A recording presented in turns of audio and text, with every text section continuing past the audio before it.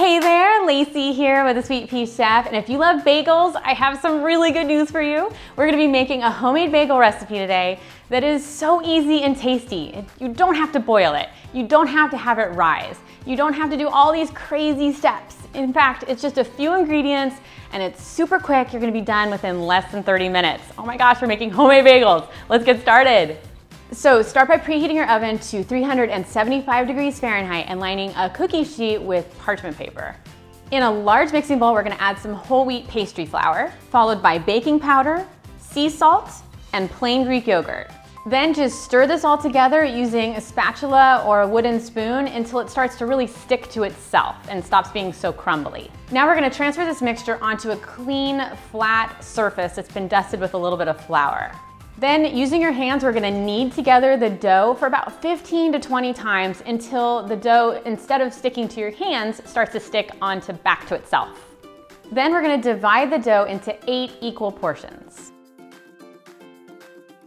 Grab one of those portions and we're gonna roll that into a long rope-like shape. It's kind of like a long fat cylinder. And then we're gonna turn that into a circle and we're gonna join those ends together to make our bagel. Then we're gonna transfer our bagels onto our prepared cookie sheet. Now I like to brush a beaten egg over the top of the bagels because not only does it make it look more vibrant and tasty when it comes out of the oven if you leave it plain, it's also gonna be a really great surface to have our toppings stick to the bagels. Oh yeah, we're doing toppings. So if you love everything bagels, I have a great everything mix to share with you. So in a small mixing bowl, we're gonna combine some poppy seeds, white sesame seeds, black sesame seeds, dried minced garlic, dried onion flakes, and flake sea salt. Then just mix this all together and poof, you have everything bagel mix. I know, it's amazing, you're gonna love it. Then just sprinkle this over the top pretty liberally on whatever bagels you would like to have with the Everything Bagel Mix.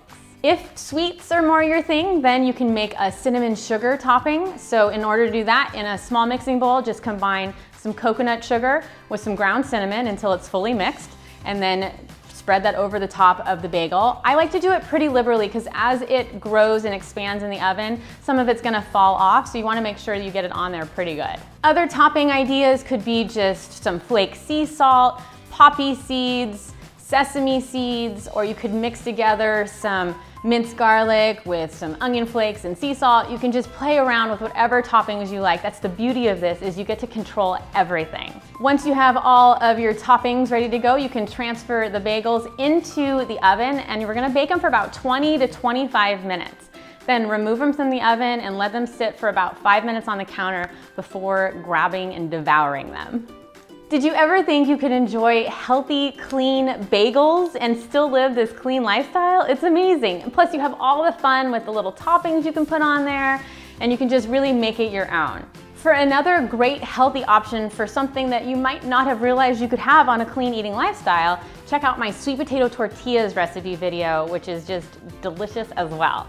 Thanks so much for watching. Subscribe to this channel so you don't miss our new weekly recipes because we always are going over healthy ways to enjoy tasty foods. Thanks so much. I'll see you next time.